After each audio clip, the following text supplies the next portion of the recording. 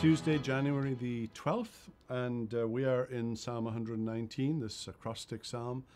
And today we're in the stanza uh, that begins at verse 97, and all of these um, lines in Hebrew begin with the Hebrew uh, letter mem, uh, which roughly would be the M sound for mother, uh, M sound in our English uh, in our English alphabet.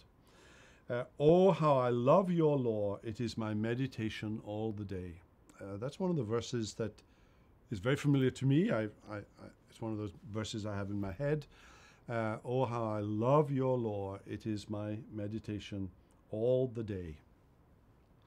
It's more of an aspiration than a truth.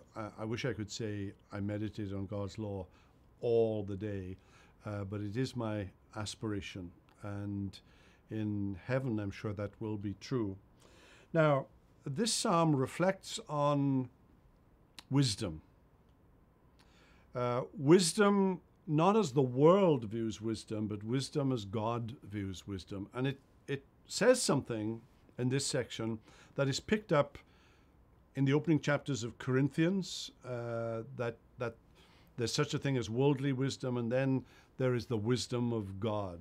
And those who are worldly wise are not always spiritually wise, and those who are spiritual, spiritually wise are not always worldly wise. I have more understanding than all my teachers, for your testimonies are my meditation. Now, you could read that and think that's a very arrogant statement to say. That sounds like an adolescent saying to his teacher, you know, I know more than you do, and, and so on. And that would, that would be very typical of adolescence. Uh, but that's not what the psalmist is saying.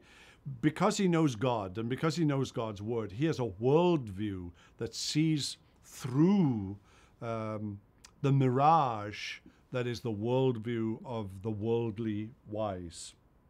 So I have more understanding than all my teachers, for your testimonies are my meditation. I understand more than the aged, for I keep your precepts.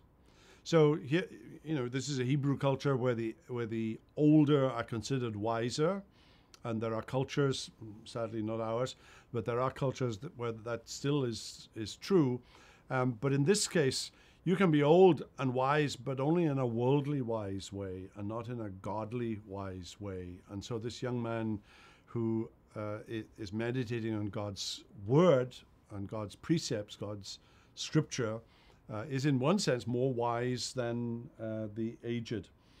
Uh, verse 102 I do not turn aside from your rules, for you have taught me. And in the Hebrew, the you is very, very emphatic. You have taught me. Uh, this is a young man who realizes that as he meditates on God's word, it is actually God Himself who is speaking to him.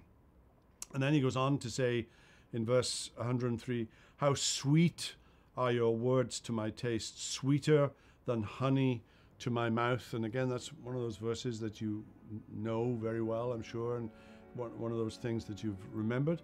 And then it ends through your precepts, I get understanding.